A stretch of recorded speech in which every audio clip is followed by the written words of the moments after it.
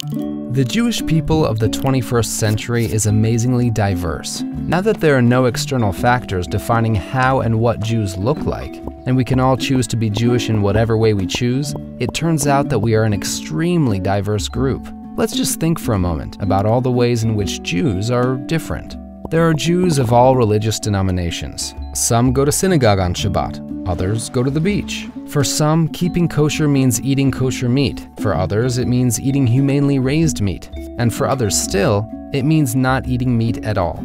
Then there are just lots of Jews who express their Jewish values differently. Some are fighting to end poverty, some are fighting in the Israeli army, some are committed to Jewish education, others to expanding the borders of knowledge for all.